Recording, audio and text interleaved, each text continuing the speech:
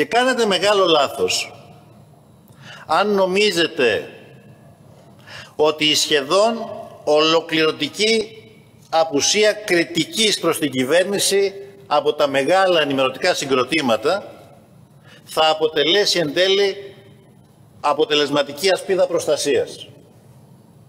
Αυτή η μεταδημοκρατική ή θα έλεγε κανείς μεταδημοσιογραφική συνθήκη της απόλυτης αποσιώπησης κάθε κριτικής, κάθε αντιπολιτευτικής φωνής των τελευταίων μηνών, όπως διαπιστώσατε τις τελευταίες μέρες, τις μέρες του Πάσχα και αμέσως μετά, δεν ήταν αρκετή για να κρύψει, να συγκαλύψει ένα κορυφαίο σκάνδαλο εξυπηρέτησης φιλικών επιχειρηματικών συμφερόντων με δημόσιο χρήμα, αλλά και εμπεγμού, και ίσως αυτό να είναι το χειρότερο, εμπεγμού εκείνης της κοινωνικής ομάδας, εκείνης της κοινωνικής κατηγορίας, το όνομα της οποίας ο κ. Μητσοτάκης έστησε την αντιπολιτευτική του ρητορική όλα τα προηγούμενα χρόνια.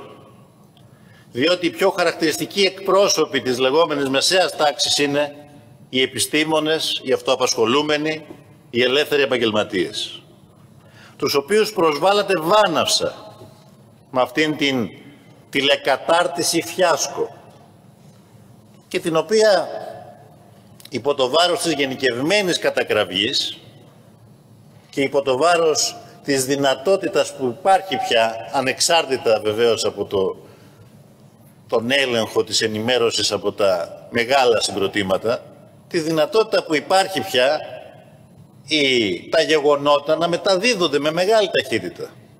Εξαιτίας της, ε, χάρη μάλλον, στα, δίκτυα, στα, στα μέσα κοινωνικής δικτύωσης. Όταν λοιπόν κάποιος υφίσταται μια τεράστια αδικία και έναν εξευτελισμό, τότε έχει τη δυνατότητα απλά με μια κίνηση, με μια φωτογραφία από το κινητό του, να βγάλει στη δημόσια σφαίρα αυτό το γεγονός, που κανείς τελικά δεν μπορεί να το αποκρύψει και αναγκαστήκατε να αποσύρετε άρον-άρον και κακήν κακός αυτή την πρωτοβουλία. Δεν σας έσωσε λοιπόν ούτε η ασπίδα των μέσων, ούτε το λιβανιστήρι κάποιων ενημερωτικών εκπομπών. Όχι μόνο αυτή η γραμμή του αόρατου αρχισυντάκτη, θα έλεγε κανείς των δελτίων, δεν μιλάμε για το θέμα, Κανείς δεν μιλάει για το θέμα. Όχι μόνο λοιπόν αυτή η αόρατη γραμμή δεν ήταν αρκετή να μείνει το θέμα κρυφό, αλλά σας έκανε και μεγαλύτερη ζημιά. Διότι η αλαζονία των στελεχών σας μέχρι την τελευταία στιγμή, μέχρι προχθές το πρωί, να λένε ψέματα στον ελληνικό λαό και στους ανθρώπους που παρακολουθούσαν. Η αλαζονία των υπουργών σας να παρελάβουν αυτοεξευτελιζόμενοι στις τηλεοπτικές εκπομπές, σαν περιφερόμενος θείασος και με περισσό θράσος να υποστηρίζουν τη μεγάλη αυτή αρπαχτή των βάουτσερ, σας έχει εκθέσει ανεπανόρθωτα.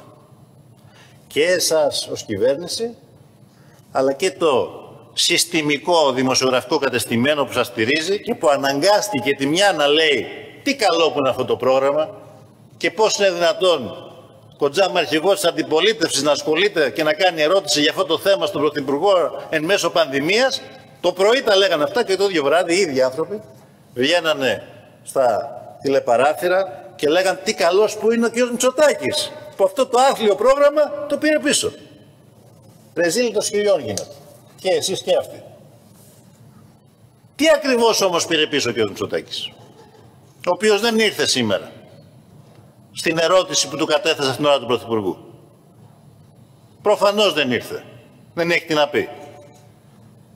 Τι ακριβώς πήρε πίσω, τι ακριβώς ακύρωσε; Ποιος έχει εν τέλει την ευθύνη για αυτή τη μεγάλη κομπίνα που πήγε να στηθεί; Και βεβαίως δεν ήρθε σήμερα, όχι μετά από όλα όσα έγιναν. Την ερώτηση την κατέθεσα την Τρίτη το πρωί.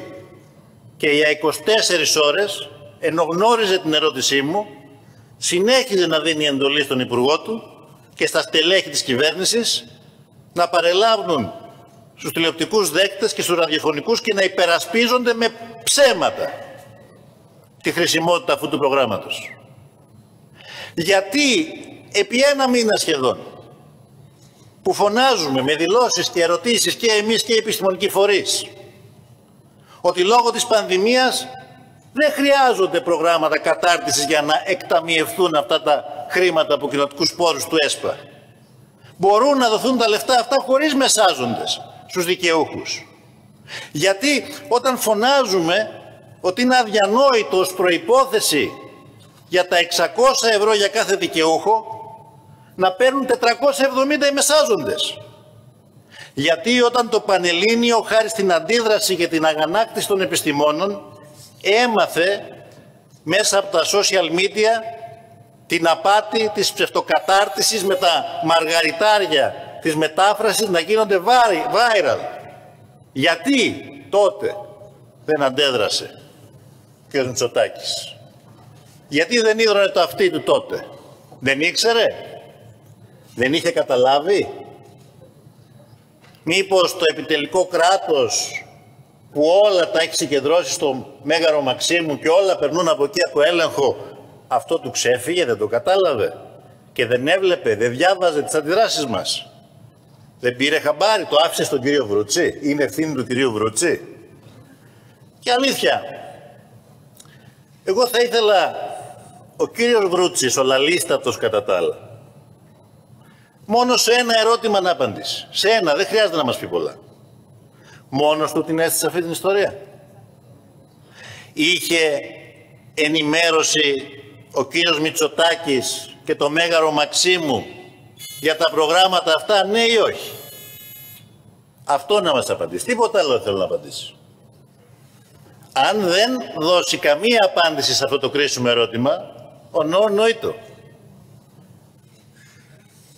Πάμε πάλι λοιπόν. 90 εκατομμύρια 90 εκατομμύρια παραπάνω από το Δημόσιο Ταμείο χωρίς λόγο.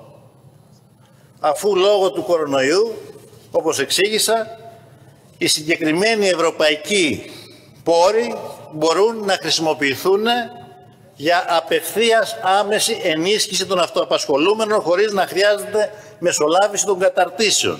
Ιδού και το σχετικό έγγραφο της Κομισιόν. Δεν ξέρω τώρα πώς μπορώ να το δώσω στα πρακτικά.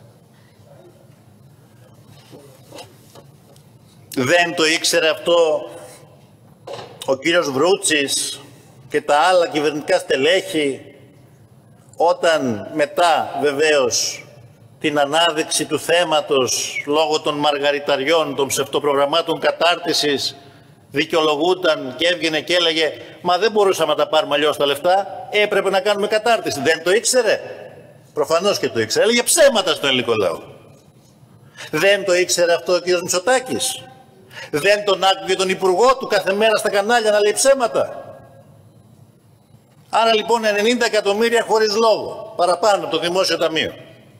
Λιγότερα χρήματα στους επαγγελματίες για να πάρουν περισσότερα οι μεσάζοντες. Για να δώσω μια τάξη μεγέθους, εάν έπαιρναν απευθείας τα 600 ευρώ, το Δημόσιο Ταμείο θα φεύγαν 110 εκατομμύρια. Αν πέραν 800 ευρώ, 144 εκατομμύρια. Τώρα πήρανε μέσω βάουτσερ, αλλά φύγανε 193 εκατομμύρια ευρώ το Δημόσιο Ταμείο. 85 σχεδόν εκατομμύρια στους μεσάζοντες.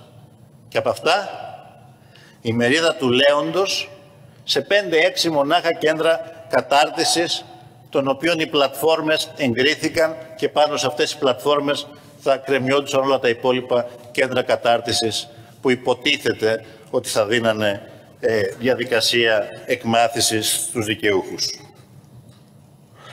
Πόσα αλήθεια θα εισέπραταν αυτά τα έξι προνομιούχα κέντρα κατάρτισης που θα νίκιαζαν τις ε, πλατφόρμες τους από αυτά τα 85 είναι ένα ερώτημα. Κάποιοι κάνουν λόγο για 35 εκατομμύρια. Σαφής απάντηση δεν έχει δοθεί μέχρι σήμερα. Αλλά κάποια στιγμή πρέπει να δώσετε. Και το αποκορύφωμα της απάτης, η πρόσκληση προς τα κέντρα κατάρτισης βγαίνει μένει ανοιχτή μόλις για τρεις μέρες και ό,τι θαύματος μέσα σε τρεις μέρες τα 5-6 αυτά συγκεκριμένα κέντρα κατάρτισης που έχουν τις πλατφόρμες καταθέτουν εκπαιδευτικό υλικό για 10 ολόκληρες ειδικότητες χιλιάδων σελίδων.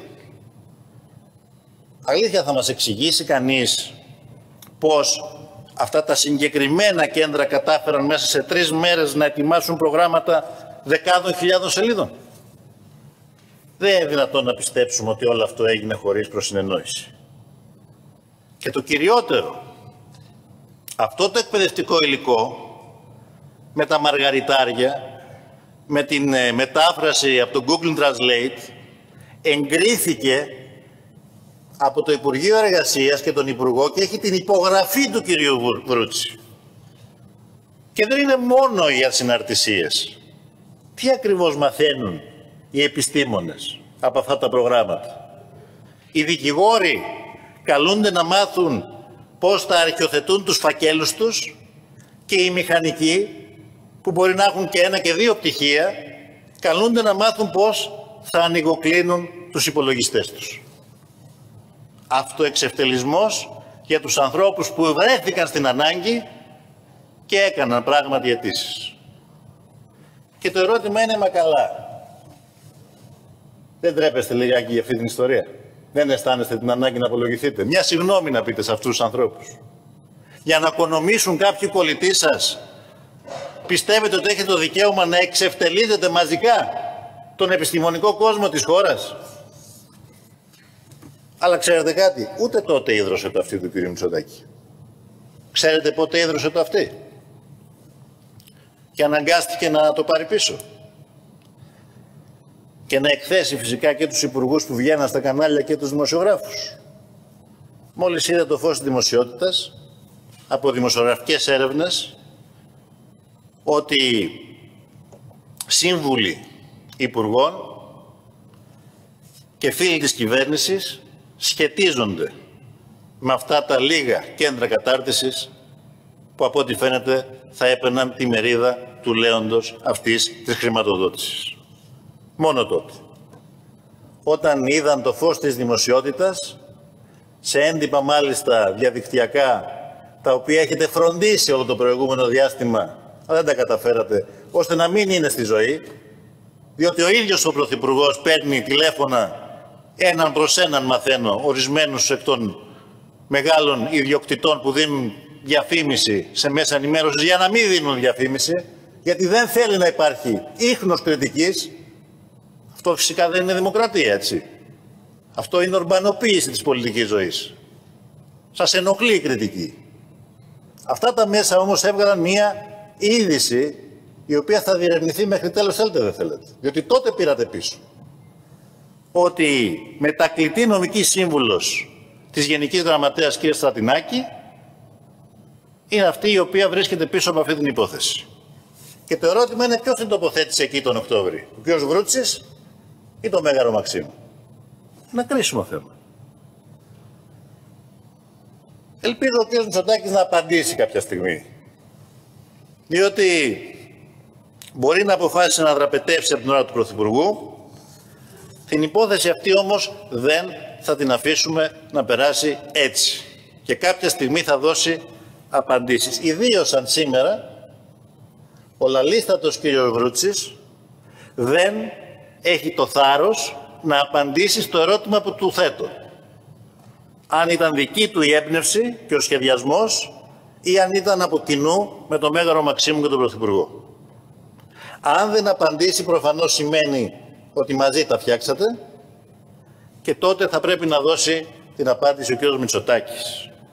Και η απάντηση για να είναι πιστική στο κρίσιμο ερώτημα με έναν τρόπο μπορεί να δοθεί με την αποπομπή του κ. Βρούτση από το Υπουργικό αξίωμα. Οτιδήποτε άλλο θα αποτελεί απόδειξη, όχι ένδειξη, απόδειξη συνενοχής.